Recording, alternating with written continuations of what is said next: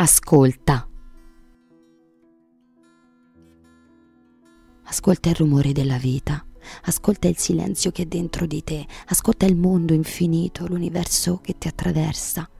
Rinnegherai te stesso, sarai felice, scoprirai di essere quello che non sei. Ascolta il mondo, gli altri, Dio, e non conterà più niente il tuo io. Sarai piccolo ma grande, debole ma forte nel donare agli altri la pienezza di te. Ascolta e scalerai le montagne.